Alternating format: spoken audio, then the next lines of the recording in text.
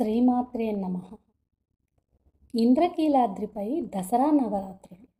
మరో ఐదు రోజులలో అమ్మవారి పండుగలు మొదలవుతున్నాయి. దేశవ్యాప్తంగా దసరా ముఖ్యమైన పండుగ. ఆశ్వయుజ శుద్ధ పాఠ్యమి నాడు ఈ పండుగ ఉత్సవాలు దేవీ పూజలు మొదలవుతాయి. శరదృతువులో జరుపుకునే ఈ నవరాత్రులను శరన్నవరాత్రులని కూడా పిలుస్తారు. తెలుగువారు పది రోజుల పాటు అట్టహాసంగా నిర్వహించే దసరా వేడుకలు పూజల గురించి అనుకుంటే వెంటనే గుర్తుకు వచ్చేది ఆంధ్రప్రదేశ్లోని విజయవాడ నడిబొడ్డులో కృష్ణానది ఒడ్డున ఇంద్రకీలాద్రి పర్వతంపై ఉన్న కనకదుర్గ దేవాలయం. అక్కడ అంగరంగ వైభవంగా నిర్వహించే నవరాత్రి ఉత్సవాలలో లక్షలాది మంది భక్తులు పాల్గొంటారు. తిరుపతి తరువాత ఆంధ్రాలో రెండవ పెద్ద దేవాలయంగా కనకదుర్గ గుడి ఖ్యాతిగాంచింది మహాభారతంలో పాండవులు వనవాసానికి దారుకావనానికి వచ్చినప్పుడు వేదవ్యాసుని సలహా మేరకు శివుని గూర్చి తపస్సు చేసి పాశుపతాస్త్రాన్ని సంపాదించడానికి అర్జునుని ఎన్నుకుంటారు. అర్జునుడు ఇంద్రకీలాద్రిపై ఘోరమైన తపస్సు చేసి శివుని నుండి పాశుపతాస్త్రాన్ని పొందుతాడు. శివలీలలు శక్తి మహిమలు ఆలయంలో అక్కడక్కడా కనిపిస్తాయి. కృతయుగానికి పూర్వం కీలుడనే యక్షుడు అమ్మవారి గురించి తపస్సు చేసి ప్రత్యక్షం చేసుకొని ఆమెను తన హృదయ స్థానంలో నిలిచి ఉండమని కోరాడు. అమ్మవారు కీలుణ్ణి పర్వతంగా నిలబడమని కృతయుగంలో రాక్షస సంహారం చేసిన తరువాత తాను ఆ పర్వతం మీద నిలిచి ఉంటానని మాటిచ్చాడు. కీలుడు కీలాద్రిగా మారి అమ్మవారి కొరకు ఎదురు చూస్తూ ఉన్నాడు. అమ్మవారిని సేవించుకోవడానికి ఇంద్రాది దేవతలు ఇక్కడికి తరచూ రావడం వల్ల కీలాద్రి ఇంద్రకీలాద్రిగా మారింది. ఇక్కడ స్వయంభూగా వెలిసిన త్రైలోక్యమాత మహిషాసుర మర్ధిని కనకవర్ణంతో వెలుగుతున్న కారణంగా కనకదుర్గ అయింది. ఆదిశంకరాచార్యుల వారు తమ పర్యటనలో అమ్మవారిని దర్శించి ఉగ్రస్వరూపిణిగా ఉన్న అమ్మవారిని శ్రీచక్రం వేసి శాంతి స్వరూపిణిగా మార్చారని పురాణ కథనం. ఇక్కడే పన్నెండవ శతాబ్దంలో విష్ణువర్ధన మహారాజు అమ్మవారిని కొలిచినట్లు శాసనాలు చెబుతున్నాయి. విజయనగర సామ్రాజ్యాధీశుడు శ్రీకృష్ణదేవరాయలు అమ్మవారిని దర్శించుకున్నట్లు చరిత్రలో ఉంది. ప్రతి సంవత్సరం కొన్ని లక్షల మంది దేవాలయానికి వచ్చి దర్శనం చేసుకుంటారు. ఈ ఆలయానికి హిందూ పురాణాలలో ప్రత్యేకమైన స్థానం ఉంది ఇంద్రకీలాద్రిపై అమ్మవారి ఆలయంతో పాటు మల్లేశ్వరాలయం క్షేత్రపాలకుడు ఆంజనేయ స్వామి ఆలయం సుబ్రహ్మణ్యేశ్వర స్వామి ఆలయం నటరాజస్వామి ఆలయంలు కూడా ఉన్నాయి. అమ్మవారిని దర్శించుకున్న భక్తులు ఈ ఆలయాలను కూడా దర్శించుకుని పూజలు చేస్తారు. దసరా రోజు తెల్లవారుజాము నుంచి అమ్మవారు శ్రీ రాజరాజేశ్వరీ దేవిగా దర్శనమిస్తారు. అనంతరం అదే రోజు సాయంత్రం తెప్పోత్సవం నిర్వహిస్తారు. భక్తులకు ఎలాంటి అసౌకర్యం కలగకుండా ఏర్పాట్లు చేస్తారు. అన్నదానంతో పాటు ఉచితంగా పులిహోర కదంబం అప్పం ప్రసాదంగా ఉచితంగా అందిస్తారు. అవతారాలు నైవేద్యాలు ఈ దసరా నవరాత్రుల్లో దుర్గాదేవిని వివిధ రూపాలతో కొలుస్తారు. ఆమె నామాలు అవతారాలు రూపాలు అనేకం. ఏ రూపంలో కొలిచినా ఆమెకు ఇష్టమైన నైవేద్యాన్ని పెడితే పూజకు మరింత ఫలితం దక్కుతుందని అంటారు. ఈ నవరాత్రి ఉత్సవాలలో అమ్మవారు ఏ రోజు ఏ అవతారంలో దర్శనమిస్తారో తెలుసుకుందామా?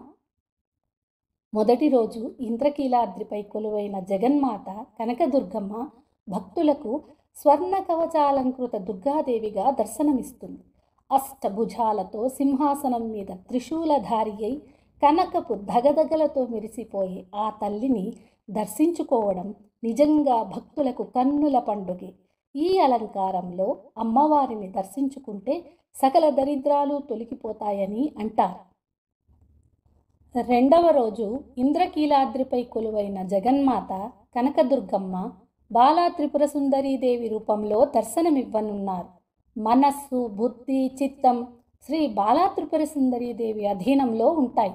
అభయహస్త ముద్రతో ఈ తల్లి అనుగ్రహం కోసం ఉపాసకులు బాలార్చన చేస్తారు. ఈ రోజున రెండు నుంచి పదేళ్ళలోపు బాలికలను అమ్మవారి స్వరూపముగా భావించి పూజించి కొత్త బట్టలు పెడతారు. అమ్మవారికి ఆకుపచ్చ ఎరుపు పసుపు రంగు చీరలు కట్టి పాయసం గారెలు నైవేద్యంగా నివేదిస్తారు. శ్రీ బాలా త్రిపుర సుందరీదేవిని దర్శించుకుంటే అంతా మంచి జరుగుతుందని అర్చకులు చెబుతారు. మరి మూడవ రోజు అమ్మవారు గాయత్రీదేవి రూపంలో భక్తులకు దర్శనమివ్వనున్నారు. సకల మంత్రాలకు మూలమైన శక్తిగా వేదమాతగా ప్రసిద్ధి పొందిన ముక్త విద్రుమ హేమనీల ధవళ వస్త్రాలతో ప్రకాశించే పంచముఖాలతో గాయత్రీదేవి దివ్యమంగళ రూపాన్ని దర్శించుకొని భక్తులు తన్మయత్వం చెందుతారు. గాయత్రీదేవి శిరస్సులో బ్రహ్మ హృదయంలో విష్ణువు శిఖలో రుద్రుడు నివసిస్తారని పురాణాలు చెప్తున్నాయి. కర్మసాక్షి సూర్యభగవానుడు గాయత్రి మంత్రానికి అధిష్టాన దేవతగా భాసిల్లుతున్నాడు. గాయత్రి మాతను దర్శించుకోవడం వల్ల సకల మంత్రసిద్ధి ఫలాన్ని పొందుతారని భక్తుల విశ్వాసం. ఇక నాలుగవ రోజున అమ్మవారు అన్నపూర్ణాదేవి రూపంతో భక్తులకు దర్శనమిస్తారు.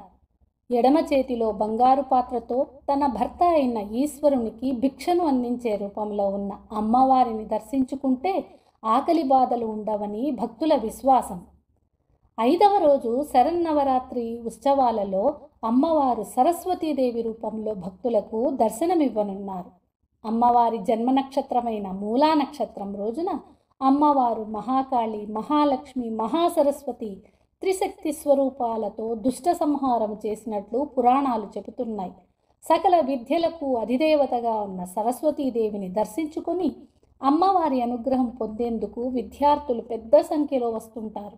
మూలా నక్షత్రం రోజు నుంచి విజయదశమి విశేష పుణ్యదినాలుగా అమ్మవారి ఆరాధనలు ముమ్మరమవుతాయి. మరి ఆరవ రోజు దసరా వేడుకల్లో అమ్మవారు శ్రీ లలితా త్రిపుర సుందరీదేవి రూపంలో భక్తులకు దర్శనమివ్వనున్నారు. శ్రీచక్ర అధిష్టాన దేవతగా పంచదశాక్షరి మంత్రాధిదేవతగా కొలిచే భక్తులకు అమ్మవారు వరప్రదాయినిగా నిలుస్తారు. సాక్షాత్ శ్రీ లక్ష్మి సరస్వతీదేవి ఇరువైపులా వింజామరలతో సేవిస్తుండగా చిరుమందహాసముతో చెరుకుగడను చేత పట్టుకొని పరమశివుని వక్షస్థలంపై కూర్చున్న అమ్మవారిని చూసేందుకు భక్తులు పెద్ద సంఖ్యలో వస్తుంటారు. మరి ఏడవ రోజు ఉత్సవాలలో అమ్మవారు మహాలక్ష్మీదేవి అవతారంలో భక్తులకు కనువిందు చేస్తారు. జగన్మాత మహాలక్ష్మి అవతారంలో దుష్ట సంహారము చేసి లోకాలు కాపాడినట్లు పురాణాలు చెబుతున్నాయి. ధన ధాన్య ధైర్య విజయ విద్య సౌభాగ్య సంతాన గజలక్ష్మి రూపాలలో అష్టలక్ష్ములుగా అమ్మవారు మహాలక్ష్మి అవతారంలో భక్తులకు దర్శనమిస్తారు. శరన్నవరాత్రి ఉత్సవాలలో ఎనిమిదవ రోజున అమ్మవారు రెండు అవతారాలలో దర్శనమివ్వనున్నారు. అమ్మవారు దుర్గాదేవి రూపంలో మహిషాసురమర్ధిని దేవిగా భక్తులకు దర్శనమివ్వనున్నారు. లోకకంటకుడైన దుర్గమాసురుణ్ణి వధించి దుర్గాదేవి స్వయంగా కీలాద్రిపై అవతరించినట్లు ఆలయ చరిత్ర చెబుతోంది. దుర్గతులను పోగొట్టే దుర్గాదేవి అవతారాన్ని దర్శించుకుంటే సద్గతులు సంప్రాప్తిస్తాయని భక్తుల విశ్వాసం. దుష్టుడైన మహిషాసురుణ్ణి అంతమొందించి భీకర శక్తి స్వరూపిణి మహిషాసురమర్ధిని రూపంలో ఇంద్రకీలాద్రిపై అమ్మవారు దర్శనమిస్తారు. ఎనిమిది భుజములు అష్ట ఆయుధాలు సింహవాహినిగా రౌద్ర రూపంలో ఉన్న అమ్మవారిని దర్శించుకుంటే శత్రుభయం ఉండదని భక్తుల విశ్వాసం. మహిషుడిని అంతం చేయడం ద్వారా లోకాలను అమ్మవారు కాపాడినట్లే భక్తుల మనస్సుల్లోని సకల దుర్గుణాలను అమ్మవారు హరించి వేస్తుందని అమ్మవారి విశిష్టతను పురాణాలు చెబుతున్నాయి. దసరా నవరాత్రి వేడుకల ముగింపు విజయదశమి నాడు ఆఖరి అవతారంగా శ్రీ రాజరాజేశ్వరి దేవి రూపంలో భక్తులకు దర్శనమివ్వనున్నారు. వామహస్తంలో చెరుకుగడను ధరించి దక్షిణహస్తంలో అభయాన్ని ప్రసాదించే రూపంలో శ్రీచక్రరాజ అధిష్టాన దేవతగా అమ్మవారు భక్తులను అనుగ్రహిస్తారు. చెడుపై అమ్మవారు సాధించిన విజయానికి చిహ్నంగా విజయదశమి నాడు అమ్మవారి చక్కని రూపంను దర్శించుకుని భక్తులు తన్వయత్వం చెందుతారు.